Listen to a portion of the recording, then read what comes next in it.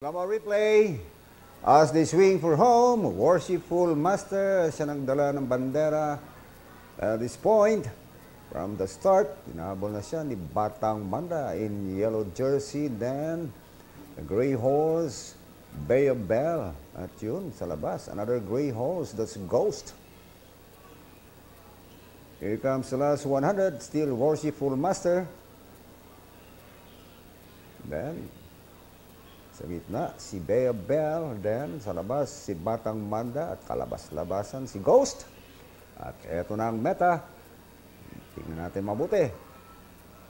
Going to be